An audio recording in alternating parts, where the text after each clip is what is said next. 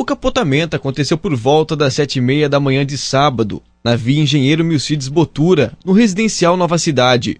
O condutor Everton de Oliveira Silva, de 22 anos, assustado, não quis gravar entrevista, mas relatou à nossa equipe de reportagem que voltava do trabalho quando o acidente aconteceu. Segundo o auxiliar geral, ele seguia para sua residência no Jardim Paraíso, quando neste ponto da vicinal Milcides Botura, próximo ao trevo de Silvânia, o pneu da frente do veículo teria estourado, ele perdeu o controle e capotou.